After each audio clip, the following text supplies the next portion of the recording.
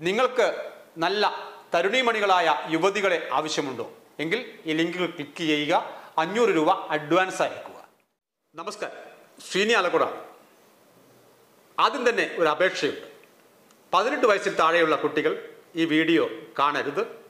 ഇതിൽ അല്പം സെക്സ് കലർന്നിട്ടുണ്ട് ഇന്നലെ ഒരാൾ ഒരു കണ്ണൂർ ജില്ലക്കാരനാണ് വളരെ ദൂരെ വർക്ക് ചെയ്യുന്ന അദ്ദേഹം എന്നെ വിളിക്കുന്നു. എന്നോട് പറയുന്നു എനിക്ക് അങ്ങയെ ഒന്ന് കാണണം. നേരിൽ കണ്ട് ചില കാര്യങ്ങൾ സംസാരിക്കാനുണ്ട്. ആയിക്കോട്ടെ ഞാൻ ഓഫീസിലുണ്ട്. ഇങ്ങോട്ടേക്ക് വന്നോളൂ എന്ന് പറഞ്ഞ് വൈകുന്നേരത്തോടു കൂടി അദ്ദേഹം എന്റെ ഓഫീസിലേക്ക് കയറി വന്നു. കയറി വന്നപ്പോൾ തന്നെ അദ്ദേഹം എന്നോട് പറഞ്ഞത് ദയവ് ചെയ്ത് എന്റെ പേര് വെളിപ്പെടുത്തരുത്. ഒരു ഗുരുതരമായ വിഷയത്തിൽ ഞാൻ പെട്ടിരിക്കുകയാണ്. മറ്റുള്ളവർ ഇനി ഇത്തരത്തിലുള്ള കേസുകളിൽ പെടാതിരിക്കാൻ വേണ്ടിയാണ് ഞാൻ ഇവിടെ വന്നത്. ഇതൊന്ന് പുറം ലോകത്തെ അറിയിക്കണമെന്ന്. അങ്ങനെയാണ് അദ്ദേഹം ചെയ്ത ഇതാ ഈ കാണുന്ന ചാറ്റ് പുറത്തു വന്നത്. സംഭവം തുടങ്ങുന്നത് രണ്ടായിരത്തി ഇരുപത്തി മൂന്ന് ജനുവരി മുപ്പത്തിയൊന്ന്. ഏതാണ്ട് ഏഴ് മണിയായി കാണും. അദ്ദേഹത്തിന് ഒരു മെസ്സേജ് വരുന്നു. ആ മെസ്സേജ് അദ്ദേഹം ക്ലിക്ക് ചെയ്യുന്നു. മെസ്സേജിന്റെ ചുരുക്കം ഇങ്ങനെയാണ്. നിങ്ങൾക്ക് നല്ല തരുണീമണികളായ യുവതികളെ ആവശ്യമുണ്ടോ? എങ്കിൽ ഈ ലിങ്കിൽ ക്ലിക്ക് ചെയ്യുക. അഞ്ഞൂറ് രൂപ അഡ്വാൻസ് അയക്കുക അങ്ങനെ ലിങ്കിൽ ക്ലിക്ക് ചെയ്തു. അദ്ദേഹം ഈ അഞ്ഞൂറ് രൂപ അഡ്വാൻസ് അവർ പറഞ്ഞ നമ്പറിലേക്ക് അയച്ചു കൊടുത്തു. അപ്പോൾ തന്നെ മറുപടി പറഞ്ഞു നിങ്ങളുടെ സംഗതി ബുക്കായിട്ടുണ്ട് ഇനി നിങ്ങൾ ഓരോ പടികൾ ചെയ്യണം.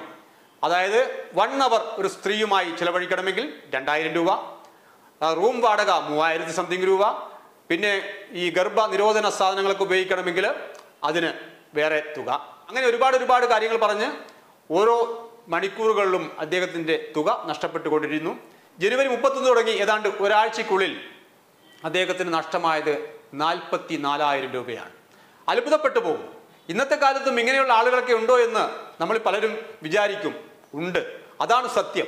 എത്ര പറഞ്ഞാലും അത്തരത്തിലുള്ള ആളുകൾക്ക് ഒന്നും മനസ്സിലാകില്ല. അവർ വീണ്ടും വീണ്ടും ഇത്തരത്തിലുള്ള കെണിയിൽ പെട്ടുകൊണ്ടിരിക്കും. അതൊക്കെ തന്നെയാണ് ഈ കാണുന്ന ചാറ്റ് നമ്മെ പഠിപ്പിക്കുന്നത്.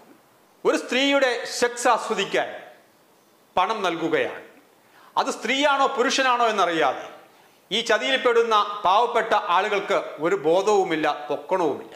ഒരു പെണ്ണിന്റെ പടം കണ്ടാൽ അപ്പോൾ തന്നെ അവർ ക്ലിക്ക് ചെയ്യുകയായി പണം മുൻകൂറായി അടക്കുകയായി.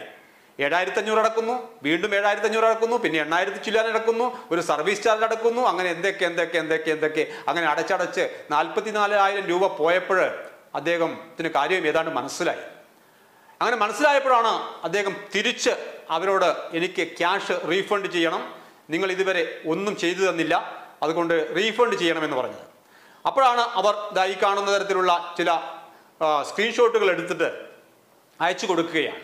ആ സ്ക്രീൻഷോട്ടിൽ നിങ്ങളുടെ തുക ഇതാ ക്രെഡിറ്റ് ആയിട്ടുണ്ട്. നാൽപ്പത്തിനാലായിരം ഞങ്ങൾ സ്വീകരിച്ചിട്ടുണ്ട്. അതിന്റെ റെസീറ്റാണിത്. നിങ്ങൾക്കിത് റീഫണ്ട് ചെയ്യാൻ ഞങ്ങൾ തയ്യാറാണ്. റീഫണ്ട് ചെയ്യണമെങ്കിൽ നിങ്ങൾ ഏഴായിരത്തി എണ്ണൂറ് രൂപയോളം വീണ്ടും അടക്കണമെന്നാണ് അവർ ആവശ്യപ്പെട്ടത്. അങ്ങനെ ആവശ്യപ്പെട്ടപ്പോഴാണ് ഇനിയും തുക അടച്ചാൽ ഈ റീഫണ്ട് ചെയ്ത് കിട്ടുമോ എന്നറിയാനാണ് അദ്ദേഹം വന്നത്. അപ്പോൾ ദയവ് ചെയ്ത് അടയ്ക്കരുതെന്ന് അദ്ദേഹത്തോട് പറഞ്ഞു. അദ്ദേഹം തന്ന നമ്പറിൽ ഞാൻ വിളിച്ചു. എനിക്കറിയാവുന്ന ഹിന്ദിയിൽ ഞാൻ അവരോട് പറഞ്ഞപ്പോൾ പത്ത് മിനിറ്റിനുള്ളിൽ തിരികെ വിളിക്കാമെന്ന് പറഞ്ഞ് അവർ ഫോൺ കട്ട് ചെയ്തു. പിന്നീട് വിളിച്ചിട്ട് ഫോൺ എടുത്തില്ല. സ്വകാര്യ സ്ഥാപനത്തിൽ കൂലിപ്പണി എടുക്കുന്ന ഒരാളാണ്. ഈ നാൽപ്പത്തിനാലായിരം രൂപ ഉണ്ടാക്കണമെങ്കിൽ എത്ര കാലം കഴിയണം. എത്ര കാലം പണിയെടുക്കണം? Indian escort agency agent name Akshay Kumar. Akshay Kumar എന്ന് പറഞ്ഞാൽ ആധാർ കാർഡിൽ അഭിഷേക് കുമാർ ഉത്തരേന്ത്യക്കാരനാണ്. പക്ഷേ വോട്ടർ ഐഡന്റിറ്റി കാർഡിൽ അക്ഷയ് കുമാർ തമിഴ്നാട്ടുകാരനാണ്. ആ രണ്ടും രണ്ട് വ്യത്യാസം നമ്മൾ കാണണം. പക്ഷെ അതൊന്നും നോക്കാതെയാണല്ലോ നമ്മളിങ്ങനെ പെട്ടുപോവുക പെട്ടു പോവുക. നിങ്ങളുടെ ലൊക്കേഷൻ എവിടെയാണ്? തളിപ്പറമ്പിലുണ്ട്. തളിപ്പറമ്പിലേക്ക് പോകാം അങ്ങനെയാണ് ഇയാൾ തളിപ്പറമ്പിൽ പോകുന്നത്. ആ കഥ ഞാൻ പറയാൻ വിട്ടുപോയതാണ്.